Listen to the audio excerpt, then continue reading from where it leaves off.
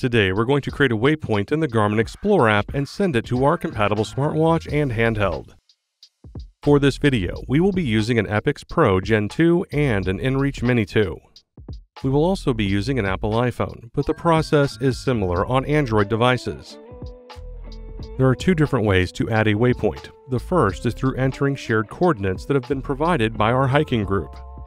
Begin by opening the Explore app to the map screen. Select the plus icon in the upper left. Select Create Waypoint.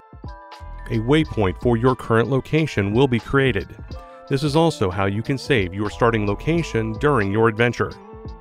Now, select the three dots menu in the upper right. To edit the name of the waypoint, select Rename. Once the change is complete, select OK. Selecting Edit Symbol allows us to change how this waypoint is represented on our map.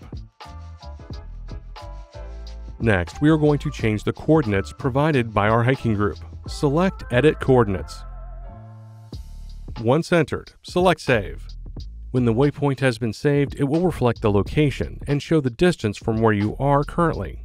Selecting the share icon will allow for sending it to any of your friends joining you on your adventure. Selecting Add to a Collection lets you keep your information organized. See our Using the Library and Collections video to learn more about doing this in the Garmin Explore app. The other method for marking a waypoint is by moving the map to your desired location and selecting it.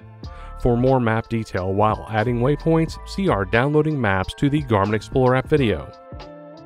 From the map screen, tap the location on the map. Then select Create Waypoint. Once the waypoint has been created, you can change the name and symbol from the three dots menu in the upper right. With the Epix Pro Gen 2 and InReach Mini 2 paired to the Explore app, the waypoint can be sent directly to them. Select Go.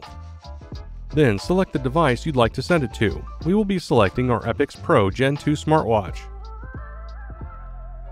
From your Epix Pro Gen 2, the activity list will have automatically opened we will be selecting Walk.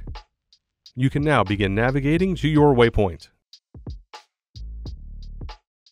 When you select your InReach Mini 2 handheld, the navigation will begin on your device. Press the down button three times to access the navigation menu.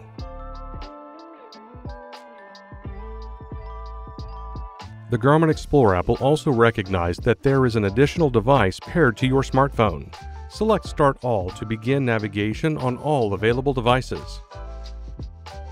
Now you can create and navigate to your waypoints with multiple devices.